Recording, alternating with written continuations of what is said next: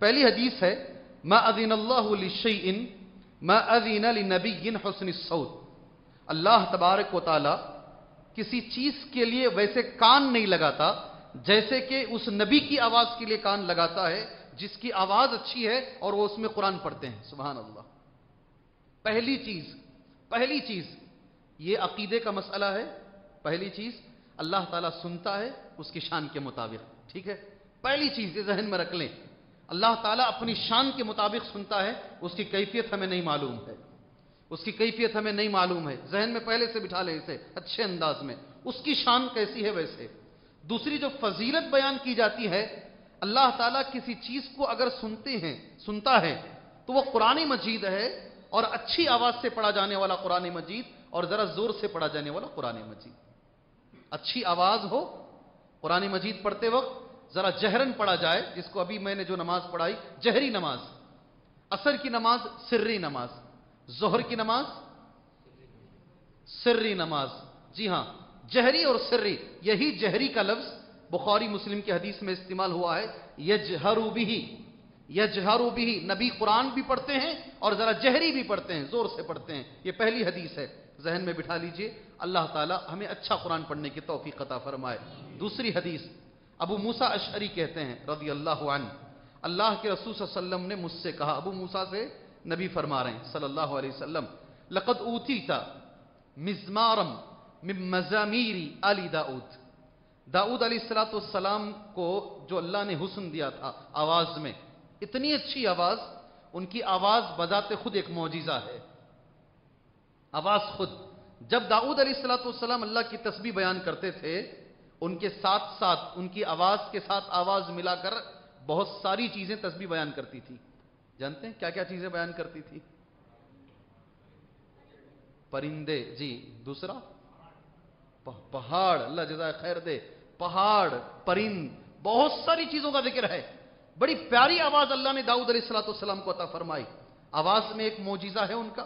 اور ہاتھیں، ہاتھ اللہ نے جو ان کے بنائے، سبحان اللہ، جو لوہا ہوتا ہے ان کے لیے نرم تھا وہ، سبحان اللہ۔ اپنے ہاتھوں سے زرہ بنا لیتے تھے وہ۔ جیسے آدمی لوہے کو گرم کر کے پھر اسے کوٹ کے چیزیں بناتا ہے، ان کو ضرورت نہیں تھی داؤد علیہ السلاۃ السلام کو۔ اللہ پاک نے وہ چیزیں انہیں عطا فرمائی، الحمدللہ۔ ایک چیز حسن سعود بھی اللہ نے عطا فرمائی۔ نبی کریم صلی اللہ علیہ وسلم نے اپنے ایک صحابی کو مثال دے کر کہا، تمہاری آواز داؤد علیہ السلاۃ السلام کی آواز کی طرح ہے جی آواز اچھی ہے، سبحان اللہ۔ یہاں علماء نے بالخصوص شیخ صالح ابن عثیمین رحمہ اللہ نے ایک بڑا اچھا لفظ لکھا ہے۔ آواز پر ہمارا کنٹرول نہیں ہے۔ ہر ایک کو ایک جیسی آواز اللہ پاک نے عطا نہیں فرمائی ہے۔ کوئی چاہ کر بھی اچھی آواز میں پڑھنا چاہتا ہے تو نہیں پڑھ سکتا۔ کسی کو اللہ تعالیٰ بذات خود فطری طور پر پیدائشی اچھی آواز دے دیتا ہے۔ تو کیا کریں گے اس مسئلے میں؟ کیا مراد ہے؟ اس سے کیا مراد ہے؟ جی؟ کسی کو بڑی اچھی آواز ملی ہے، سبحان اللہ۔ کسی کی آواز اچھی نہیں ہے، وہ کتنی بھی کوشش کرے، بیچارہ ایک جگہ پہ آ کے ٹہر جاتا ہے، سبحان اللہ۔ اس کی دور جانے کی ضرورت نہیں ہے۔ مکے کے اماموں میں مثال مل جائے گی۔ ام حرم میں مثال مل جائے گی، سبحان اللہ۔ ایک امام کو، سبحان اللہ، اسی لیے رکھا گیا ہے کہ ان کی قرآن کی تجوید سب سے بہتر ہے۔ آواز آپ نہیں لا سکتے، تجوید آپ لا سکتے ہیں، سبحان اللہ۔ آواز آپ نہیں لا سکتے، مگر تجوید آپ لا سکتے ہیں۔ دنیا کا ہر مسلمان قرآن کو تجوید سے پڑھ سکتا ہے۔ ابن عثیمین کہتے ہیں، اچھی آواز جہاں بھی کہا گیا ہے، پہلا جو معنی لیا جائے گا وہ تجوید سے پڑھنے کا ہے۔ سبحان اللہ۔ نہ کہ آواز باریک، موٹی، درمیانی، یہ نہیں ہے۔ تجوید اچھی رکھے آدمی۔ تجوید ہر کوئی پڑھ سکتا ہے، الحمدللہ میرے بھائی، ہر کوئی پڑھ سکتا ہے۔ اور پھر میں ایک بار اور آپ کے سامنے کہہ دوں، الحمدللہ ایک انسان، ایک بچہ ایک بچہ چار سال قرآن حفظ کرتا کتنا؟ کبھی کوئی چالاک رہا تو تین سال میں حفظ کرتا ہے۔ میں جو بتا رہا ہوں، جو میں حفظ کیا، بہت سارے لوگوں نے حفظ کیا، وہ بات ہے۔ چار سال حفظ کرتا ہے۔ آٹھ سال مولوی کورس، کتنے سال ہوئے؟ کتنے ہوئے بھائی؟ پھر اللہ اسے مدینہ جانے کی توفیق دیتا ہے، اس بچے کو۔ مدینہ جانے کے بعد جو بچہ حافظ قرآن ہے جو بچہ آٹھ سال قرآن پڑھا ہے، اسے دوبارہ تجوید پڑھائی جاتی ہے۔ تجوید ایک ایسے ایسا علم ہے، سبحان اللہ، آپ کو مرتے دم تک تھوڑا تھوڑا تھوڑا تھوڑا آپ حاصل کرتے ہی رہیں گے انشاءاللہ تعالی۔ جب بھی آپ کو کوئی بتائے، نہیں، یہ لفظ آپ صحیح نہیں پڑھ رہے ہیں، آپ اس کا شکریہ ادا کیجیے۔ بولیے، ٹھیک ہے بھئی مجھے بتا دو پڑھنا کیسا ہے۔ مجھے بتا دو پڑھنا، اور ہر انسان انشاءاللہ تعالی ذری محنت کرے گا، تھوڑی محنت کرے گا، قرآن انشاءاللہ تعالی پڑھنا آتا ہے تجوید سے بھی وہ انشاءاللہ تعالی سیکھ لے گا۔ ایک چھوٹی غلطی تجوید کی جو ہوتی ہے، کتنا معنی تبدیل ہو جاتا ہے، وہ بول کر باقی آگے کی حدیث میں ہم چلتے ہیں انشاءاللہ تعالی۔ جی عمر آباد میں ایک بہت بڑے شیخ آئے تھے۔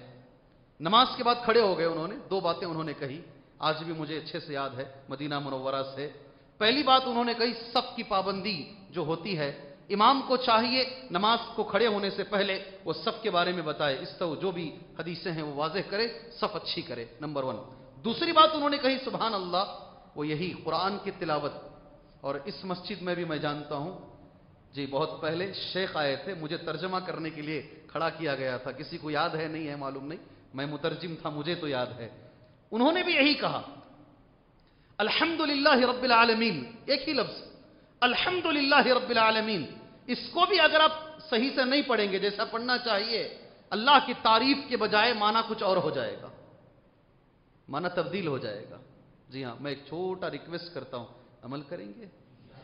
میرے نوجوان بچے، پڑھے لکھے بچے، انگریزی کا پروننسیشن اگر میرا صحیح نہیں ہے، لوگ ہنس لیتے ہیں۔ لوگ ہنس دیتے ہیں۔ جی ہاں کیسے ملی صاحب، چھوٹے چھوٹے لفظ نہیں آتے آپ کو؟ انگریزی کے پروننسیشن میں ہر باپ کا یہ یہ ہوتا ہے کہ اس اسکول میں ڈالیں گے جہاں پر میرے بچے کی انگریزی ون آف دا بیسٹ ہو۔ سبحان اللہ میں آپ سے گزارش کروں گا، انگریزی میں اتنی توجہ ہے، اللہ کے کلام میں توجہ نہیں کے برابر ہے۔ یہ انصاف ہے میرے بھائیوں۔ انصاف ہے؟ بولو جی۔ جی کوشش کریں گے قرآن اچھا پڑھنے کی انشاءاللہ تعالی؟ تجویز سے پڑھنے کی انشاءاللہ تعالی؟ یہ قرآن پڑھنے کے بارے میں۔ ایک